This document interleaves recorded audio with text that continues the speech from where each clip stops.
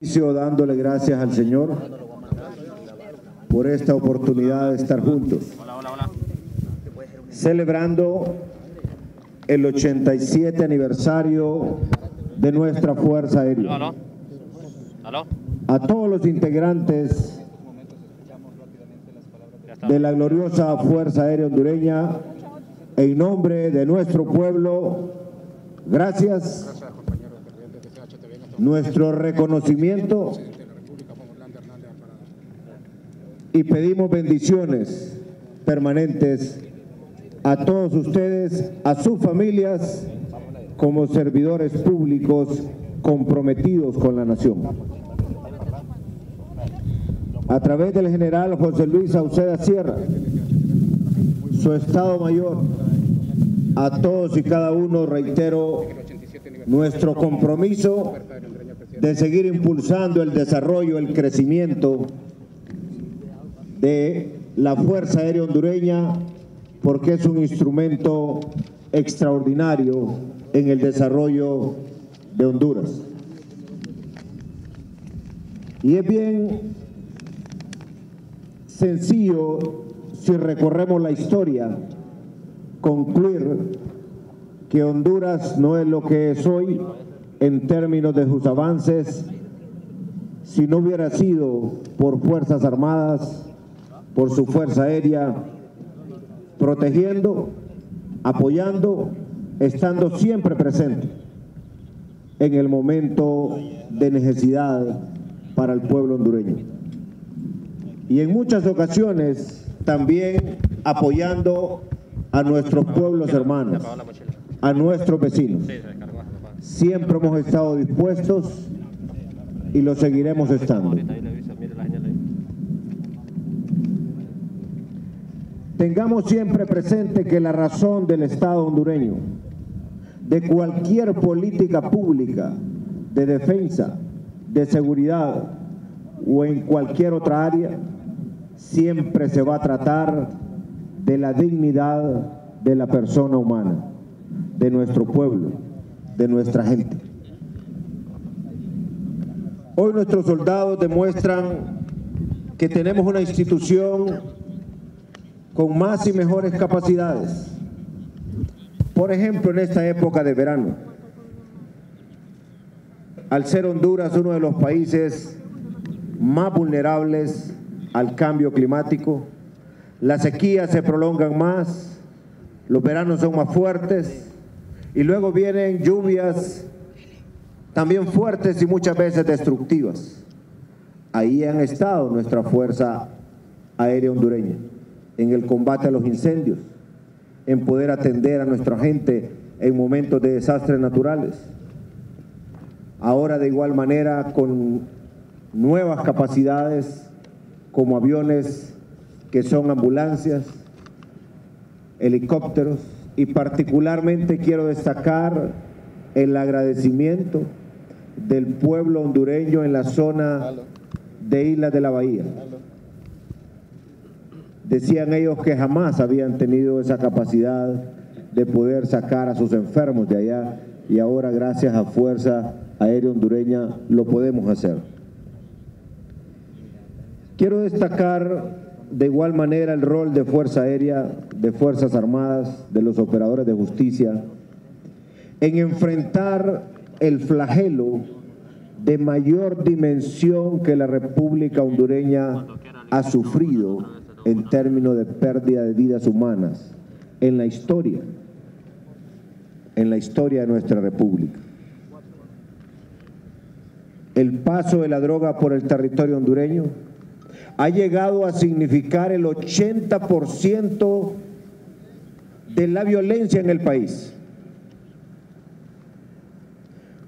Cuando servía en la presidencia del Congreso Nacional, decidimos estructurar una serie de medidas legislativas presupuestarias para poder enfrentar lo que ahora, con el tiempo, podemos decir que ha sido una tarea exitosa, aunque nos falta todavía. Si no hubiéramos quebrado la tendencia de los niveles de inseguridad provocados por el narcotráfico en el país, por el crimen organizado, no hubiéramos salvado alrededor de 30.700 vidas. La baja en la tasa de homicidios es notable. 40 puntos en alrededor de cuatro años. Pero si no hubiéramos construido el escudo naval en el Atlántico, con la colaboración de países amigos, si no hubiéramos construido los escudos terrestres en las fronteras con Nicaragua, los grupos de seguridad con Nicaragua, con El Salvador, con Guatemala, con México, con Estados Unidos. Y si no hubiéramos construido el escudo aéreo para evitar que como en aquellos tiempos venían aquellas enormes cantidades de droga vía aérea en vuelos irregulares, caían al territorio hondureño y lo, que, lo único que se dejaba era dolor, muerte, luto para las familias hondureñas. Y ese escudo aéreo es responsabilidad exclusiva del Estado hondureño. Y ahí, Fuerza Aérea Hondureña, ustedes han contribuido de manera directa a la reducción no solo de la tasa de homicidios, sino de todo el ambiente de inseguridad que vivíamos en aquella época. Es cierto, falta mucho, tenemos que seguir en esa dirección. ¿Y qué significa tener más seguridad? Más confianza para el pueblo hondureño. Más inversión, mejor clima para generación de empleo, más y mejores ingresos. No hubiéramos tenido el crecimiento de 4.8 en la economía hondureña y si miran la media latinoamericana, somos de los países que estamos arriba de la media en crecimiento económico. No lo hubiéramos logrado si ustedes, soldados de la Fuerza Aérea, soldados de Fuerzas Armadas, operadores de justicia, no hubieran contribuido con reducir la inseguridad en el país. Y el ejemplo más reciente, esta Semana Santa, comparada con las últimas cinco, el pueblo hondureño salió como nunca a disfrutar su país. 3.5 millones de movilizaciones en territorio hondureño. Extranjeros llegando al país como nunca antes. Y no fuera posible el derrame económico de casi 7 mil millones de lempiras en tan solo una semana, gracias a la seguridad, a las mejores carreteras que estamos construyendo y a la confianza que ustedes le dan al pueblo hondureño. Eso significa que el hondureño humilde, que maneja un mototaxi, que maneja un bus, el que va en la tripulación de una aeronave comercial, el que vende cocos allá en Tela, el guía turístico en las faldas de Celaque, allá en la biosfera, en las playas, los que trabajan en hoteles, en restaurantes, en comedores, no hubieran tenido los ingresos que están teniendo si ustedes, soldados de Honduras, no hubieran hecho su parte.